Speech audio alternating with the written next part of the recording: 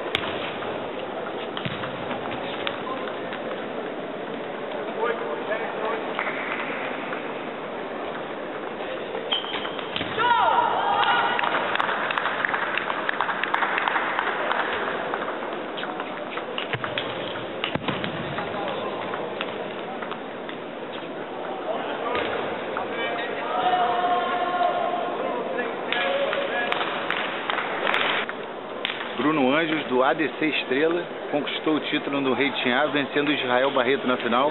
Primeiro fala um pouquinho como é que foi a sua campanha até a chegada desse título. Ah, eu comecei bem, né, os dois primeiros jogos. Eu venci os dois primeiros jogos por, 11, por 3 a 1 e calhei por ter o Israel no meu grupo. Acabei perdendo o jogo de 3 a 2 no grupo, saí em segundo, onde joguei com um menino da, que é Juventude agora, que é uma das promessas do Brasil. Consegui fazer um, bem, um bom jogo, venci por 3 a 0 e agora encaixou bem meu jogo contra o Israel e consegui vencer.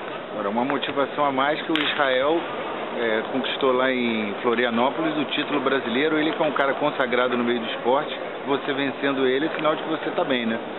É, tô bem, né? Já, eu conheço o Israel há muito tempo, né? O jogo já é conhecido.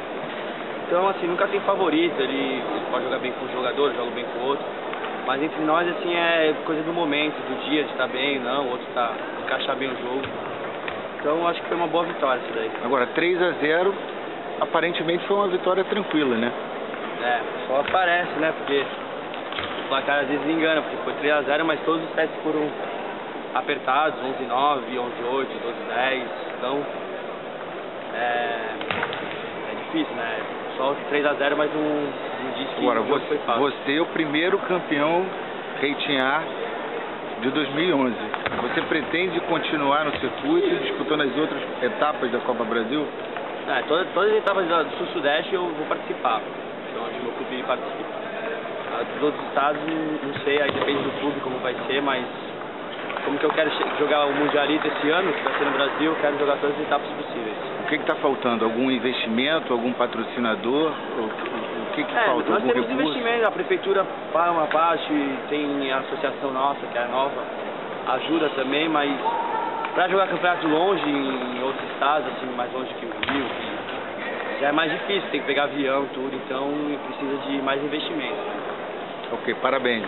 Obrigado.